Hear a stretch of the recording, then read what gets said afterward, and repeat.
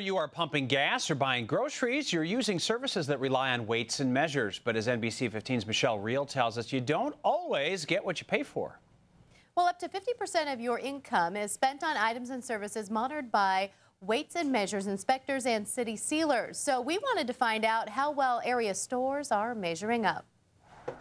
We'll take a five gallon test draft. Mark Nickel is a state weights and measures inspector.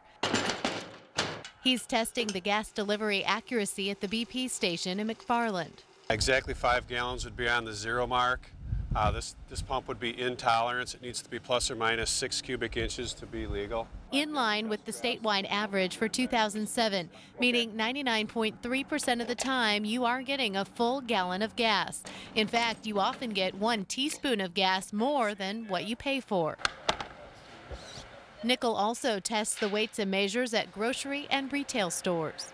He uses his standard weights on the checkout scale to make sure you're being accurately charged. He also makes sure the price advertised is the price you're paying. Statewide, 99.4% of the time, scales measure a full pound of product, and 98.3% of the time, you are charged the correct price that's advertised.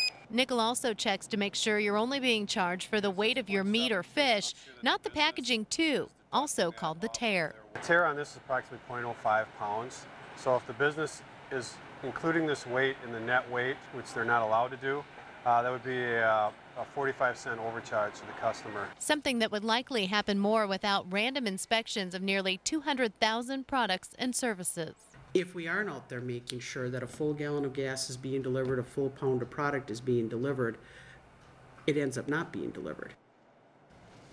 And we did find a handful of local gas stations not delivering the gas you paid for in 2007. Two of the biggest offenders in southern Wisconsin were the Liberty gas station on Bird Street in Sun Prairie. Its premium gas was being underdelivered by 26 cubic inches, and the PDQ on Roby Road in Stoughton was found to be underdelivering its premium gas by 22 cubic inches in 2007. Errors, we're told, are due to mechanical malfunction and have since been fixed.